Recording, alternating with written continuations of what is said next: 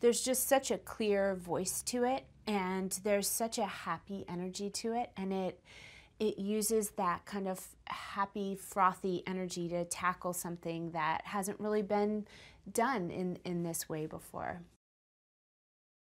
so he's part of this great family and he has a great group of friends at school, but there's something lonely in him. And it is that he has this secret. He's gay and he hasn't shared it with the people closest to him. So it's just Simon's journey toward um, discovering what it means to own something so um, central to who you are, to the people who love you the most. The truth will set you free, but there is a moment where everyone has to react to the truth. And that is so overwhelming, the fear of that moment, that it keeps people from relaxing into who they can be. And I think that's especially true for, you know, lesbian, gay, queer, transgender kids who are realizing, you know, I, I, eventually I'm going to have to talk to people around me about something that I know to be true about myself.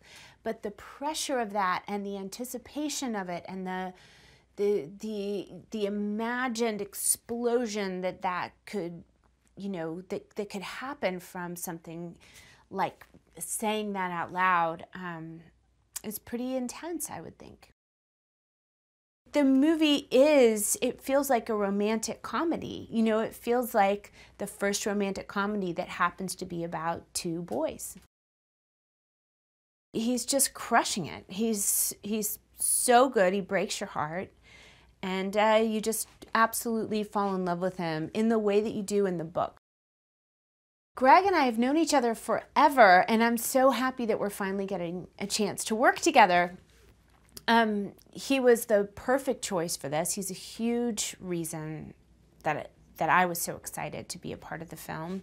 Uh, Greg and I sat down a couple of months ago in LA to first talk about the movie, and I said, you know, here's some thoughts I have about the script, and he went back and wrote these amazing scenes to um, fill in the blanks that I felt like were kind of glaring for Emily, and and for the movie in in general. And um, instead of saying, "Oh, you just want more to do," or "You just want a big juicy scene," he just said, "I actually really see the need for that," and was so collaborative and so fantastic. And he's one of those directors who seems completely you can't you can't mess with his zen. He's a master of zen and he's um, he's got it all under control. This is very personal for him, but he's not precious about it.